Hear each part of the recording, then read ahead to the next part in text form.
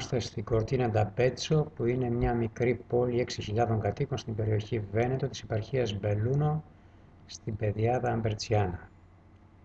Είναι περικυκλωμένη κυριολεκτικά από τα δολομητικά όρη στα οποία ασφαλώς οφείλει και την ανάπτυξή της μιας και είναι δημοφιλής προορισμός για πολλούς λάτρεις εντός και εκτός Ιταλίας.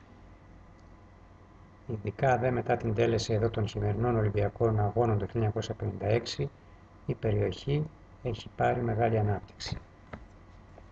Κατά το Μεσαίωνα η πόλη ανήκει στην Αγία Ρωμαϊκή Αυτοκρατορία, το 1420 πέρασε στους Βενετούς, από το 1511 ως τα τέλη του Πρώτου Παγκοσμίου Πολέμου ανήκει στους Αψβούργους και κατόπιν πέρασε στη δικαιοδοσία της Ιταλίας.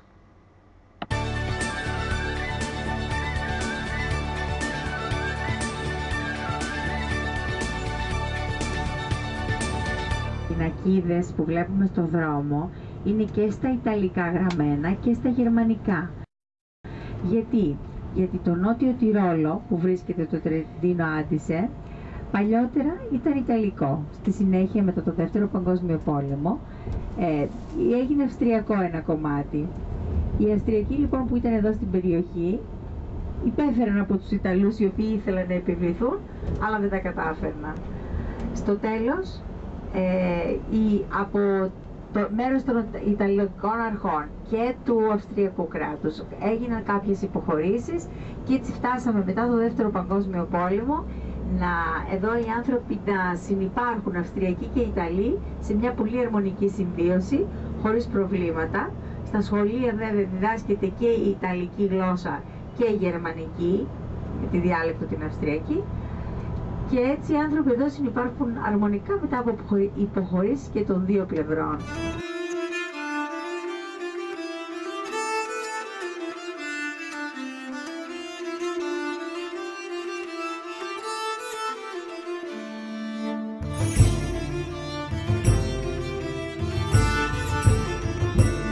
Όταν σχεδίαζε τους γάμους του δευτερότικου γιού του Λεοπόλδου, Έφτιαξε λοιπόν αυτή την αψίδα για να περάσει η πομπή κάτω από την αψίδα.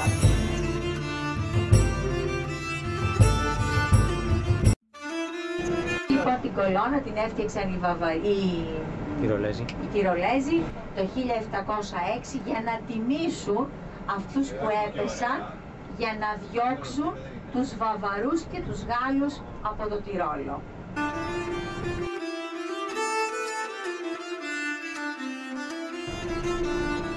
Και μπροστά στο βάθος είναι το ιστορικό κέντρο, εκεί όπου αύριο το πρωί θα πάμε να κάνουμε τις γιατί τώρα φαίνεται η χρυσή στέγη. Άμα κοιτάξετε εδώ απέναντι, βάθος μπροστά μας. Ε? Μπροστά, να. Αριστερά είναι το μουσείο της πόλεως.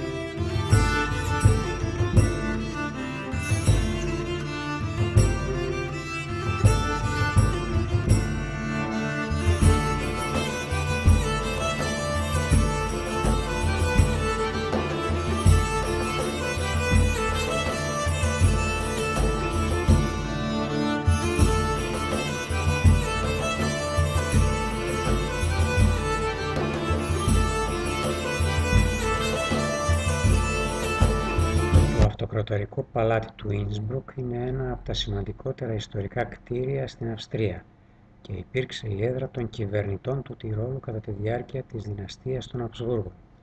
Χτίστηκε το 1460 σε γοτικό ρυθμό, ενώ ανακαινίστηκε μεταξύ του 1754 και 1773 από τη Μαρία Θηρεσία.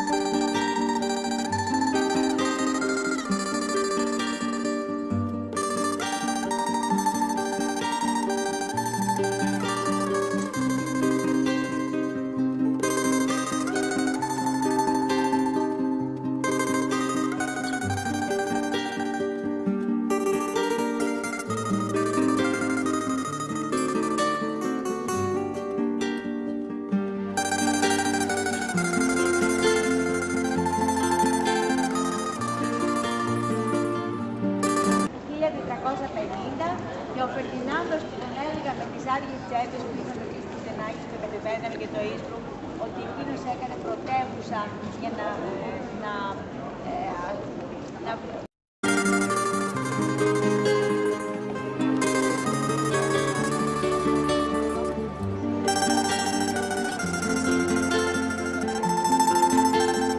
Από αυτό λοιπόν το μπαλκόνι και παρακολουθούσα τις όποιες εκδηλώσεις γίνονται εδώ στην πλατεία.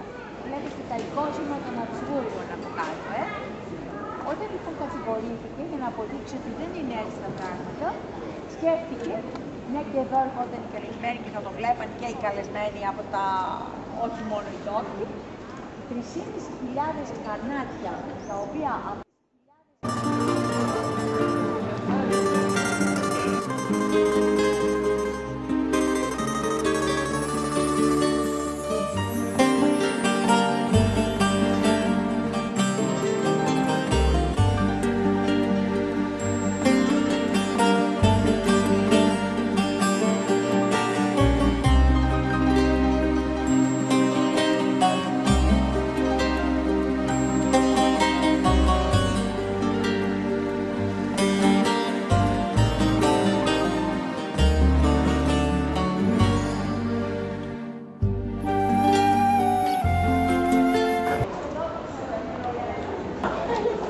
προσωπικότητες που κατά καιρούς έχουν μείνει εδώ είναι από το Μαξιμιλιανό, τον πρώτο όπως βλέπετε 1494, μέχρι και σήμερα, μέχρι τα τελευταία χρόνια, το 1999, ο τελευταίος Σουλτάνος που έμεινε.